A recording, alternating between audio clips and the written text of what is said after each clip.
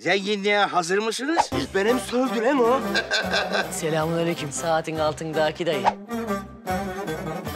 Benim alınacak bir intikamım var Sadaç. Lan bizim atiller sadece senin gitmişler değil mi? be. Süleyman'ın kaybolan babası o. Aynen benim babam. Biz yanlış bir şey yapmıyoruz değil mi? Çaldın mı lan yoksa sen? Sabahattin. Aynen. İsmail Cemil'le beni kaçırmaya geldi.